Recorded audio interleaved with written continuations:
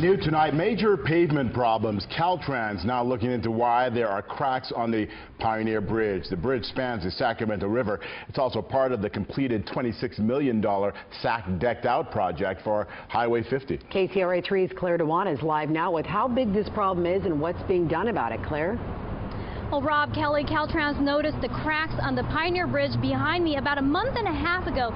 Since then, they have made temporary repairs, but they still don't know what went wrong.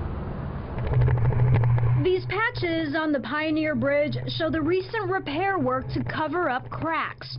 They appear just months after crews resurfaced the pavement. Seems like there's been a pattern here between what's going on with the San Francisco Bay Bridge, uh, with mistakes being made, they're very costly mistakes, as well as this here. So I imagine there's some some accountability that needs to be had. The treatment was part of the SAC Decked Out project on sections of I-5 and Highway 50 along the Sacramento River.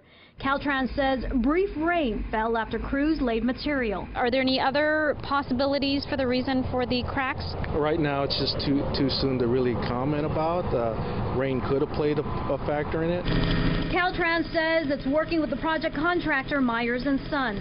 In the next few weeks, inspectors will go out to scrutinize the literal holes appearing in this $26 million project the issues with cracking? How much would that cost to fix everything? Uh, we don't know at this point, but what we do know is that there's a three-year warranty on the bridge work that was actually done. Whether the cracks are covered under the warranty depends on what inspectors find.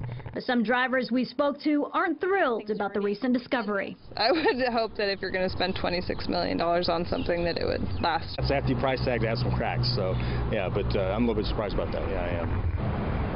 Myers and Sons did not return our messages. In the meantime, Caltrans says the problems only lie with the surface of the bridge, not the structure itself, so they say it's still safe to drive on.